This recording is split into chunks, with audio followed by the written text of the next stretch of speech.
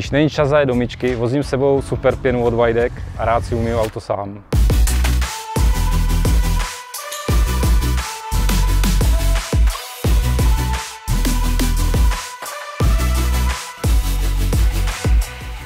A mimochodem návod k použití můžete najít pomocí QR kódu.